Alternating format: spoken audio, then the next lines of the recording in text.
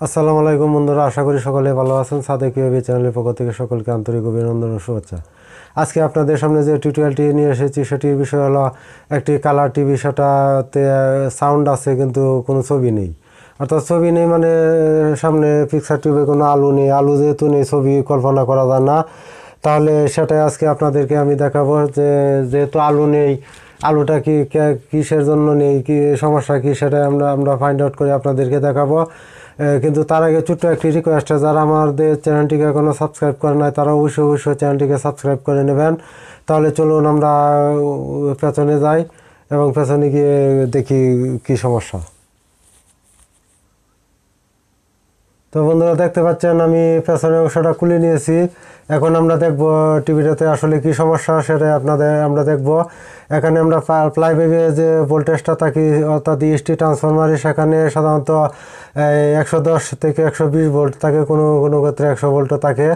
এখানে কি ভোল্টেজটা সঠিক আছে কি না সেটা আমরা দেখতে হবে, আমাদেরকে দেখতে হবে। এখন ভোল্টেজটা দেখতে গেলে আমাদেরকে অবশ্যই দুশো পঞ্চাশ ভোল্ট রেঞ্জে মিটারটাকে সেট করে নিতে হবে। তাহলে দুশো পঞ্চাশ ভোল্ট রেঞ্জে মিটারটাকে সেট করে নিলাম এবং একটি ফ্রন্ট যেখানে নেগেটিভ আছে সার্কিটে সেখানে আমি এখানে ধরলাম।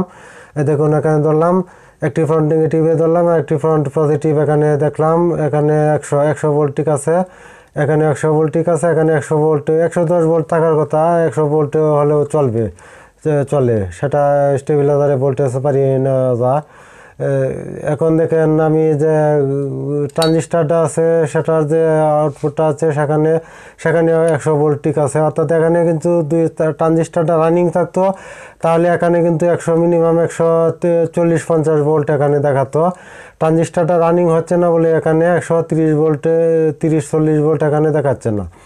তাহলে সেটা কি কারণে হচ্ছে? তাহলে চলুন আমরা এখানে দেখে নেই। সর্বপ্রথমে আমাদেরকে যে ব্যাপারটা দেখতে হবে সেটা হলো এখানে দেখুন জঙ্গল আইসি, জঙ্গল আইসির যে জঙ্গল আইসির যে জায়গাটা আপনারা দেখতে পাচ্ছেন এখানে। এখানে দেখুন, এখানে বারো বারো নম্বর, তেরো নম্বর তেরো নম্বর পিন দিয়ে হরাইজন্টালটা আউটপুট হচ্ছে। দেখুন দেখুন হরাইজন্টালটা আউটপুট হচ্ছে, অর্থাৎ প্রায় এখানে দুই ভোল্টের কিছু উপরে দুই ভোল্ট আপ শু করছে। এখানে ভোল্টেজটা দিকে টেনে নিয়ে যায়, কোনো জায়গায় লাইন ফাটা থাকলে এরকম সমস্যা হয় রেজিস্টার নষ্ট থাকলেও এই ধরনের সমস্যা হয়। তাহলে আমি এখানে, এখান পর্যন্ত এখান পর্যন্ত ভোল্টেজ পাচ্ছি। এখানে ভোল্টেজ বেশি, আবার এখানে কম। সেটা কেন হচ্ছে? সেটা একটা প্রশ্নের বিষয়। এখানে দেখেন একটি রেজিস্টার আছে। রেজিস্টরটার মাধ্যমেই ভোল্টেজটা কমিয়ে দিচ্ছে। রেজিস্টর কীভাবে ভোল্টেজ কমায় সে বিষয়ে রেজিস্টার সম্পর্কে আমি পূর্ণাঙ্গ দুই, তিনটি টিউটোরিয়াল আমি করব। আপনারা সেই টিউটোরিয়ালগুলি দেখবেন। আমার মতো করে আমি করব, যাতে আপনারা সহজ ভাষা সহজেই বুঝতে পারেন। সেই ভিডিওটি, ভিডিওগুলি অবশ্যই দেখবেন। এখানে দেখুন ভোল্টেজ এখানে আপ হচ্ছে, অর্থাৎ ভোল্টেজ আছে, এখানে আসছে পালচার আসছে, এখানে ভোল্টেজ পালচার আসছে এই ট্রানজিস্টার এটা হলো হরাইজন্টাল ড্রাইভার ট্রানজিস্টার এখানেও ভোল্ট আসছে। তার মানে এটা ঠিক আছে, এখন আমি দেখব হরাইজন্টাল যে ভোল্টেজটা এখানে তিরিশ ভোল্ট সাধারণত সাপ্লাই দেওয়া হয়, এখানে এই ভোল্টেজটা ঠিক আছে কি না এটা আমি দেখব। এখানে যেহেতু ড্রাইভার সেকশনের কালেক্টর যে পিনটা আছে, সেখানে তিরিশ ভোল্ট থাকে, তাহলে আমি মিটারটাকে অবশ্যই পারিয়ে নিতে হবে।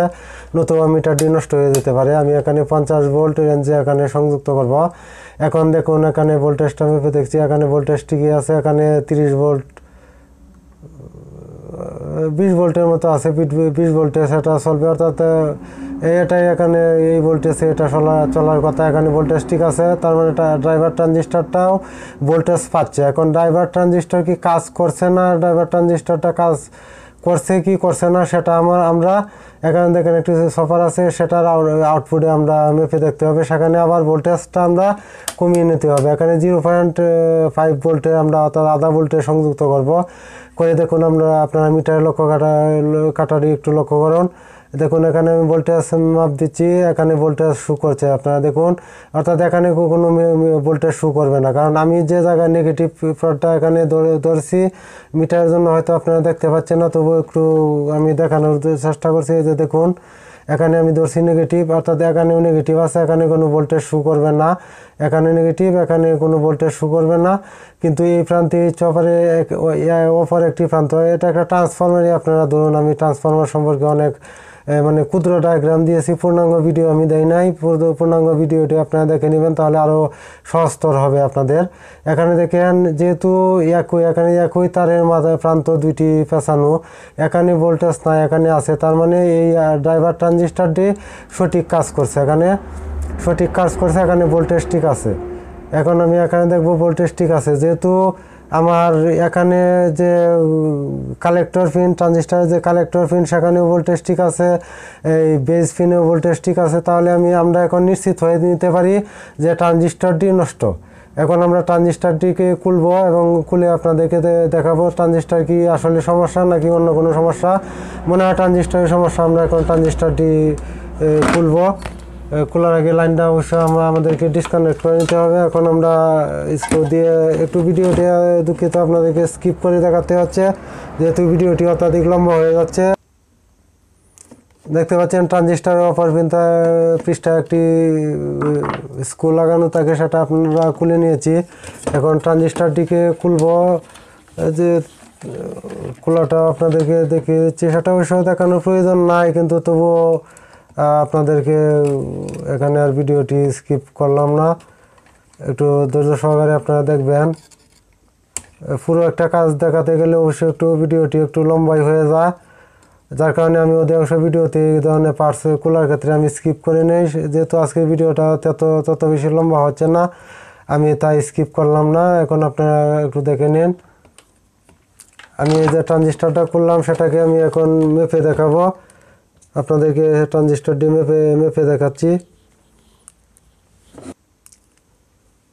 এখন দেখুন মিটার, আমি ট্রানজিস্টারটা মেপে দেখাচ্ছি। মেপে দেখানোর জন্য এটা যেহেতু ভোল্টেজ রেঞ্জে সেট করা, এটাকে আমি ওমস রেঞ্জে রেঞ্জে সেট করে নিতে হবে। ওমস রেঞ্জে দেখুন সেট করে নিলাম। এখন আমি আপনাদেরকে ট্রানজিস্টারটি মেপে দেখাচ্ছি। তবে যেহেতু এটা ট্রানজিস্টার একটি অন্যরকম বিষয়, একটু জটিল বিষয়, সেজন্য আপনাদেরকে আমার ট্রানজিস্টার বিষয়ে যে ভিডিওটি আছে, সেই ভিডিওটি অবশ্যই দেখে নিতে হবে। এই ভিডিওটি এখনও আপলোড দেই না যদি দিয়ে থাকি তাহলে লিঙ্ক অবশ্যই নিচে দেওয়া থাকবে। ট্রানজিস্টারের ভিডিওটি আপনারা দেখে নেবেন। দেখুন, ট্রানজিস্টারটি শর্ট দেখাচ্ছে। যেহেতু একটি হরাইজন্টাল ট্রানজিস্টার, এটি এটি কীভাবে মেপে দেখতে হয় সেটা আপনাদেরকে সেই টিউটোরিয়ালটি অবশ্যই দেখতে হবে। এখানে দেখতে পাচ্ছি ট্রানজিস্টারটি শর্ট দেখাচ্ছে। ট্রানজিস্টারটি একদম শর্ট দেখাচ্ছে। দেখুন, মিটার কাটাটা একদম মাথায় সরে আসছে। ট্রানজিস্টারটি এটি নষ্ট। আমরা কারণে এই মানের একটি ট্রানজিস্টার লাগিয়ে নিতে পারি। এই মানের একটি ট্রানজিস্টার লাগিয়ে তারপর আবার দেখি কি হয়। এই মানে ট্রানজিস্টার আমি একটি লাগিয়ে নিচ্ছি, দেখুন, এই মানে একটি ট্রানজিস্টার নিলাম। আগে পিনগুলি আমি সোল্ডার করে নিচ্ছি। সোল্ডার করে নিচ্ছি, আপনারা একটু লক্ষ্য করে দেখুন, ভিডিওটি আমি স্কিপ করতে চাচ্ছি না।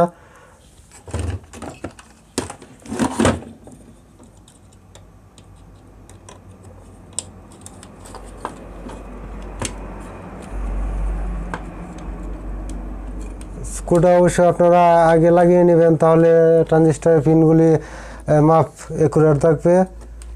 সোল্ডারটা পরে করবেন স্ক্রুগুলি আগে আপনারা লাগিয়ে নেবেন। ট্রানজিস্টার যদি স্ক্রু থাকে, সেক্ষেত্রে স্ক্রুটা লাগিয়ে নেবেন। এটা হিস্কিংয়ের সঙ্গে লাগানো থাকে, হিস্কিংয়ের সঙ্গে কেন লাগানো থাকে আইসি এবং ট্রানজিস্টার কেন হিস্কিংয়ের সাথে লাগানো থাকে সেটা অবশ্যই আপনারা জানেন। ট্রানজিস্টারের যে কালেক্টর পিন সেটাই সাধারণত ভোল্টেজ তাপ উৎপাদন করে। সেটাও আমি ট্রানজিস্টার যে কয়টি আলোচনা করব, সেখানে বিস্তারিত দেওয়া থাকবে। এখন আমি দেখুন, এখানে সোল্ডার সোল্ডার করে নিচ্ছি।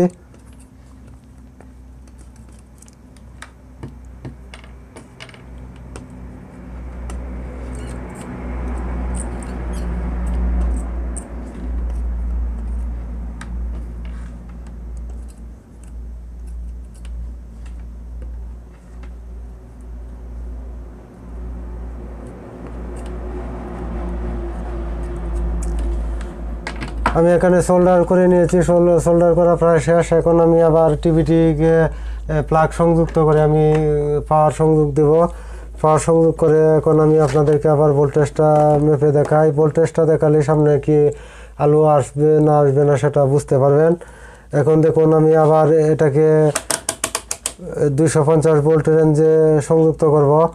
সংযুক্ত করার পরে এখানে দেখে, দেখুন আমি এটাকে নেগেটিভ ফ্রন্টে সংযুক্ত করব। মিটার কাটাটি আপনারা লক্ষ্য করবেন।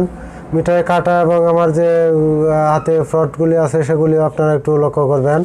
এখন দেখুন আমি এখানে যে- একশো ভোল্টের মতো শু করছে, আবার এই যে ট্রানজিস্টারে সেখানে তখন দেখেছিলাম একশো ভোল্টে, এখন দেখুন প্রায় একশো চল্লিশ ভোল্টের মতো শু করছে, তার মানে ট্রানজিস্টারটি অলরেডি চালু হয়ে গেছে।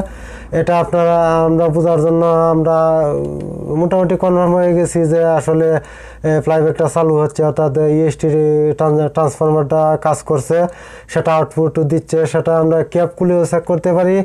আর যদি আপনাদের অভিজ্ঞতা করে ক্যাচ করে, তাহলে আপনারা এখানে ভোল্টেজ মেপেও বুঝতে পারবেন যে আসলে আইসি ফ্লাইব্যাকটা কাজ, সঠিকভাবে কাজ করছে কিনা। এখানে যদি ভোল্টেজ আসে এই পিনগুলিতে, তাহলে বুঝবেন এখানে কাজ করছে। তাহলে অর্থাৎ সার্কিটটা আমার ওকে হয়ে গেছে। আমি আপনাদেরকে প্রথমে যে শুরুটা বলেছিলাম যে, আপনারা প্রথমে প্রথমে উৎপত্তি স্থল, অর্থাৎ যে সেকশানে কাজ করবেন সেটার উৎপত্তি স্থল দেখবেন। সেটার উৎপত্তি স্থল এখানে কোথায়? সেটা হলো তেরো নাম্বার পিনে তেরো নাম্বার পিন দিয়ে হরাইজন্টাল আউটপুট হচ্ছে। এখানে যদি কোনো ভোল্টেজ না পান হরাইজন্টাল পালস না পান, তাহলে বুঝে নিতে হবে জঙ্গল আইসি কারা ফতবা এর সংশ্লিষ্ট আশপাশে যে এই পিন সংশ্লিষ্ট, অর্থাৎ হরাইজন্টাল সংশ্লিষ্ট যে পার্টসগুলি হরাইজন্টালের জন্য কাজ করে আইসিতে সে পার্টসগুলি নষ্ট হয়েছে। যেহেতু জঙ্গল আইসি সম্পর্কে আমি একটা ভিডিও দেব। সেখানে আপনারা এই সম্পর্কে পুরোপুরি একটা ধারণা পে- পাবেন। আশা করি সেই ভিডিওটি দেখবেন। এবং এখান থেকে এই পালসটা আমি কীভাবে মেপে আপনাদেরকে দেখাচ্ছি সেটা আপনারা অবশ্যই ফলো করবেন। এইভাবে আপনাদের কাজ করেন, তাহলে আশা করি আপনারা খুবই সংক্ষেপে কাজ করতে পারেন, শর্টকাটে কাজ করতে পারবেন, একদম দক্ষ টেকনিশিয়ান হতে পারবেন। আমার ভিডিওটি অবশ্যই অবশ্যই প্রতিটা পর্ব আপনারা মনোযোগ সহকারে দেখবেন। মনোযোগ সহকারে দেখলে অবশ্যই আপনারা একজন ভালো সুদক্ষ টেকনিশিয়ান হতে পারেন। শুধু টিভি এই সাধারণ সিআরটি টিভি না যে কোনো সার্কিট বিষয়ে আপনাদেরকে একটা, আপনাদের একটা পূর্ণাঙ্গ ধারণা এসে যাবে। সে কোনো যে কোনো ইলেকট্রনিক্স সার্কিট ডিভাইসে হোক না কেন এখন আপনাদেরকে আমি সামনে দেখাচ্ছি। সামনে দেখা দেখি আপনাদের কাছে আমি বিদায় নেব। কিন্তু বিদায় নেওয়ার আগে আপনাদের কাছে ছোট্ট একটি রিকোয়েস্ট ছোট্ট একটি রিকোয়েস্ট আবার করব। আমার চ্যানেলটিকে যারা এখনও সাবস্ক্রাইব করেন নাই, তারা অবশ্যই অবশ্যই আমার চ্যানেলটিকে সাবস্ক্রাইব করে নেবেন। আর যারা অলরেডি সাবস্ক্রাইব করে ফেলছেন, তাদেরকে অসংখ্য অসংখ্য ধন্যবাদ। এবং আপনাদের উৎসাহ উদ্দীপনায় আমাকে আরও এগিয়ে এগিয়ে নিতে সাহায্য করবে। আমি আরও সুন্দর সুন্দর, অনেক সুন্দর সুন্দর ভিডিও নিয়ে আসতে আপনাদেরকে সহযোগিতা করব। যে যেমন ইলেকট্রিক ইলেকট্রনিক্সের বিষয়ে, যে কোনো বিষয়ে আমি আপনাদেরকে বোঝাতে সহযোগিতা করব। আমি রেগুলারলি হয়তো অনেক সময় আপনাদের সামনে ভিডিও দিতে পারি না, সেটা জানেন আমার এছাড়া আমার দুটি পেশা আছে, যে পেশাগুলি আমাদের, আমাকে মেনটেন করতে হয়। দুটি পেশার পাখি পাখি আমি আপনাদেরকে এই ধরনের ভিডিও দিয়ে থাকি। যার কারণে হয়তো যত সঠিক সময়ে আপনাদের প্রশ্নের উত্তর দিতে পারি না। সেজন্য অবশ্যই আন্তরিকভাবে আমি দুঃখিত। তবুও আপনারা কমেন্ট করবেন, প্রশ্ন করবেন, আমি উত্তর দেব। উত্তর দিতে অবশ্যই চেষ্টা করব। তবে আজকে এই পর্যন্ত বিদায় নিলাম। আল্লাহ হাফেজ।